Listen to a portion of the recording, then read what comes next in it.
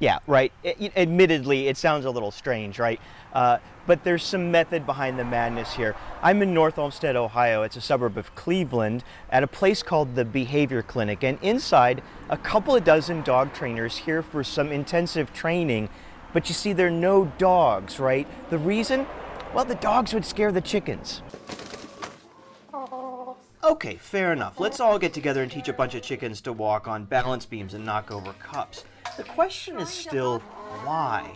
Well, it turns out there's good science behind how all animals learn. And if you want to learn that science, your best teacher might just be a chicken. They are the teachers. I'm a facilitator. I keep things going. And what's going on at chicken camp is fine tuning our observation skills and the split second timing that's so important to training, regardless of what kind of animal it is. It's not about the assumptions you make about a chicken because very few people can make assumptions about a chicken. And that may be the biggest lesson here. Forgetting what we assume about any animal, including our own dogs and the labels that we slap on them. Calling this gal stubborn isn't going to make her move any more than calling your dog stubborn is going to make him come when called. But a little bit of patience and some good training will.